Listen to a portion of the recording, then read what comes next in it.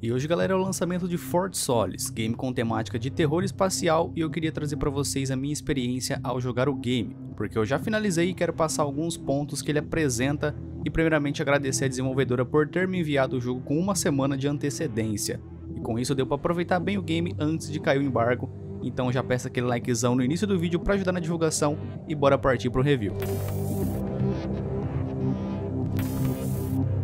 E bom, o que é Fort Solis inicialmente? Um game de suspense e aventura cinematográfica que se passa no espaço. A narrativa se desenrola ali em uma instalação de mineração abandonada em Marte, onde você controla o protagonista Jack Larry, que vai responder um estranho chamado de emergência desse local. E nisso os jogadores são desafiados a resolver os mistérios escondidos e o que houve com toda a tripulação. Gostaria de começar falando a respeito da qualidade gráfica, pessoal, que com certeza contribui bastante para uma maior imersão no game, deixando com os aspectos bem sombrios em certas partes. O jogo é desenvolvido no motor gráfico da Unreal Engine 5 e com esse motor conseguimos perceber detalhes muito interessantes em relação à modelagem dos personagens e animações faciais e corporais também e você vê esses detalhes muito bem ao interagir com alguns objetos para inspecionar ou até mesmo na movimentação que está sendo muito bem feita.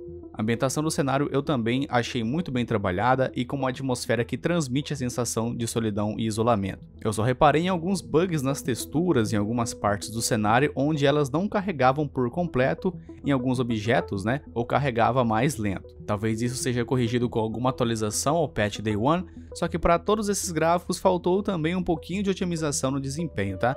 Que eu vou falar para vocês a respeito daqui um pouco a respeito da jogabilidade do game. Como é um jogo mais voltado para narrativa, não espere uma mecânica de combate ou qualquer outra coisa do tipo.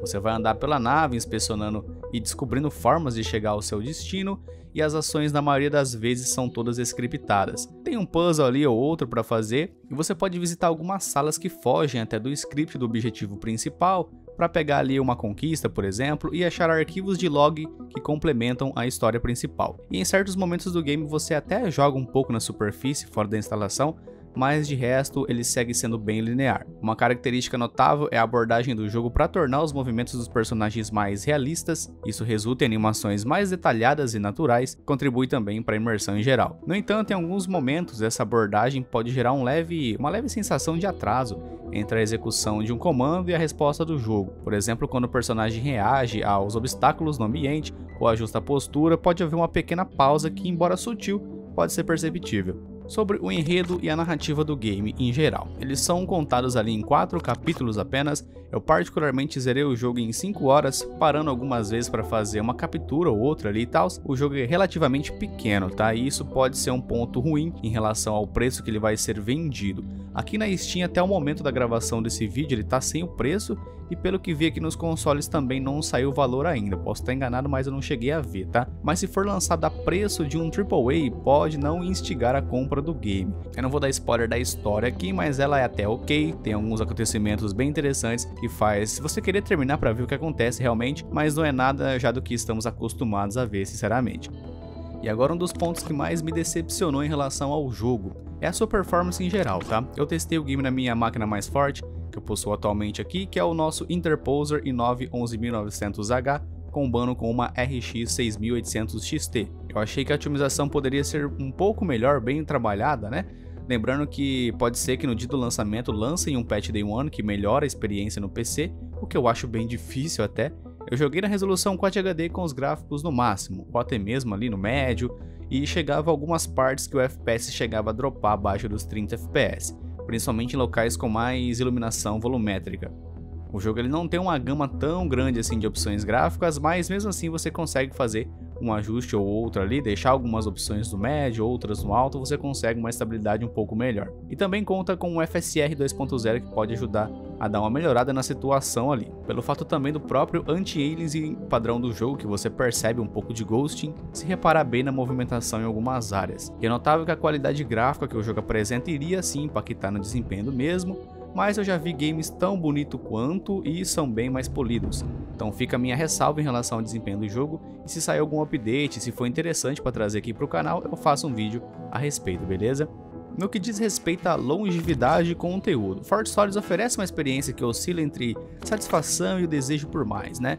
Como havia dito em minha própria experiência, eu levei cerca de 5 horas para concluir a história principal, mas é possível terminá-la ainda mais rápido, dependendo da sua familiaridade com o gênero e se não quiser até mesmo não explorar nenhum canto aqui do, do mapa. Sendo um jogo que prioriza a narrativa, não é surpresa que a sua longevidade não se compare a títulos mais extensos, no entanto, essa abordagem pode dividir opiniões, até mesmo que foi feito por uma produtora indie, tá? Enquanto alguns jogadores podem apreciar a capacidade de experimentar a história completa em um período relativamente curto, outros podem desejar uma experiência mais duradoura, acredito eu. Importante considerar suas preferências pessoais ao avaliar o valor que a duração oferecida pelo jogo possui para você. Quanto ao conteúdo, Fort Solid se apoia em detalhes e elementos colecionáveis para incentivar a exploração mais minuciosa. Se você é alguém que gosta de vasculhar cada canto e recanto, há uma boa chance de que encontre colecionáveis que acrescentem profundidade narrativa. Além disso, se a busca por conquistas é algo que lhe atrai, a exploração completa do jogo ao longo de uma única jogatina só pode resultar na obtenção dessas conquistas e dessa platina. Galera, após explorar todos esses aspectos aqui, eu queria compartilhar minha perspectiva pessoal sobre aqui o Fort Solis. A começar pela parte gráfica e visual, eu fiquei verdadeiramente impressionado com o trabalho meticuloso aplicado ali com detalhes no jogo. Os ambientes também apresentam elementos visuais que enriquecem a atmosfera, dá uma imersão muito boa contribui bastante para essa imersão. Mesmo que não seja um aficionado por esse tipo de gênero em particular, eu achei muito bom, tá? O tempo que eu passei jogando foi uma experiência bem diferente do que eu tô acostumado, né, do que eu estou habituado, e fiz questão de mergulhar completamente no jogo, ao percorrer pelos quatro capítulos diretamente em uma só jogatina. No entanto, ao considerar uma recomendação do jogo, eu sinto que ele é mais adequado para um público mais específico, eu diria. Aqueles que têm um gosto pelo gênero certamente encontrarão em Fort Solis uma experiência que atende às suas expectativas, isso pode ficar tranquilo. Da mesma forma que para quem busca uma experiência de jogo que difere das suas preferências habituais, Fort Solis oferece uma oportunidade para explorar territórios desconhecidos com certeza. E galera, eu espero ter passado meu ponto de vista sobre o game. Uh, eu não falei muita coisa sobre as mecânicas, sobre a história, mas eu queria que vocês jogassem, né? Ter, teria sua própria experiência, já que o jogo é bastante curto, então uh, se eu falar muita coisa aqui vai ser um spoiler meio absurdo, tá? Principalmente em relação à narrativa, beleza? Mas se vocês quiserem que eu traga mais vídeos desse game ou lives, é só deixar aqui nos comentários, beleza? Testando em alguma outra máquina, vendo se sai alguma atualização de desempenho. E para quem tiver interesse no game aí, né? Se vocês quiserem dar um feedback se já jogaram ou não aqui nesse vídeo, pra gente tá dando uma debatida então, beleza? Espero que vocês tenham gostado desse vídeo. Se gostou, deixa aquele likezinho maroto para ajudar na divulgação. É de graça e ajuda bastante aqui o canal. Se inscreve também se você não é inscrito ainda e ativa o sininho de notificações para não perder nenhuma novidade a respeito dos jogos e emuladores em geral. Gostaria também de agradecer aos membros do canal que contribuem financeiramente para eu continuar a trazer esse tipo de conteúdo. Agradeço de coração aos membros. E se você for pegar alguma coisinha do AliExpress ou da Amazon Brasil, segue os links aqui no comentário fixado ou na descrição desse vídeo, beleza? Forte abraço a todos vocês, valeu, falou e até mais. Fui, tamo junto!